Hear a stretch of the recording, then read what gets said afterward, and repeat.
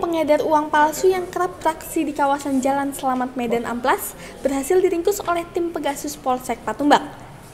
Kedua pelaku berinisial Edi Nopendra alias Hendra dan Ferianto Simbolon alias Anto, warga Jalan Menteng 7 Gang Mawar Medan, Kecamatan Medan Amplas merupakan pengedar uang palsu yang berhasil diringkus di mana pada saat itu kejadian bermula dari informasi salah satu warga bahwa pelaku Ferianto belakangan ini diketahui membeli bensin eceran dengan menggunakan uang palsu sebesar Rp250.000.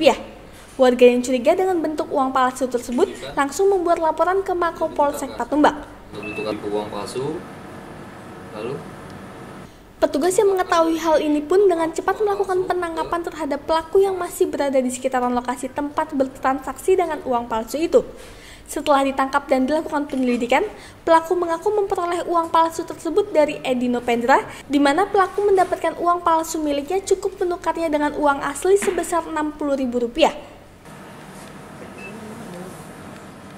Kapolsek Patumbak AKP Ginanjat Fitriadi mengatakan bahwa modus kedua pelaku untuk mengedarkan uang palsu ini ialah mencari pedagang wanita yang sudah tua dan melakukan transaksi jual beli pada malam hari.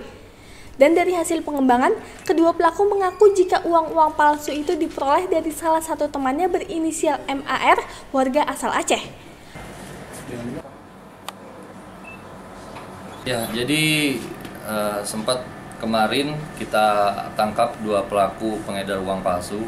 Jadi motifnya ya yang pasti uh, mendapatkan keuntungan dari uh, uang palsu tersebut. Mereka dapat dari mana? mereka, ya, mereka dapat. Jadi uh, tersangka si Edi ini dia uh, menukarkan uang sejuta lima ratus ditukarkan menjadi 16 juta rupiah uang palsu. Sudah berapa kali bang? Kalau ini baru satu kali. Betul tidak?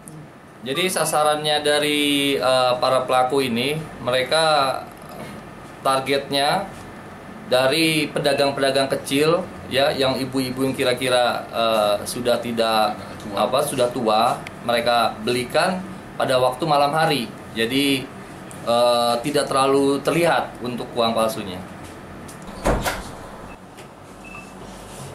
Barang bukti yang diamankan petugas adalah uang palsu sebanyak Rp13.500.000 yang terdiri dari pecahan Rp100.000, Rp50.000, Rp20.000 hingga Rp5.000 uang palsu siap edar.